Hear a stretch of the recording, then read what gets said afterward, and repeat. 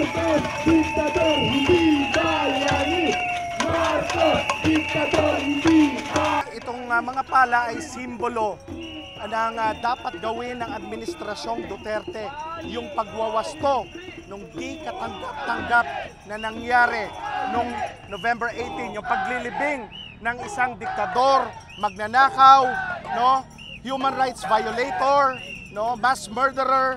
Kung tayo ay nagsama-sama nung EDSA upang itakwil ang diktador na ito na si former President Marcos, kayang-kaya din natin magkapit-bisig at magsama-sama upang hukayin ang kanyang bangkay at alisin dito sa libingan ng mga bayani. Ini-encourage namin ang mga tao na magpalit ng kanilang profile picture galing dun sa itim na blanco na na ah, na profile picture patungo dun sa kahit anong klaseng profile picture na merong pala dahil nga ang panawagan natin ay ang paghukay. Itong noise barrage nga, itong ating ginagawa ngayon ay kick off din ng aming panawagan na mag noise barrage tayo. Dahil nung panahon ng martial law at 8 o'clock in the evening,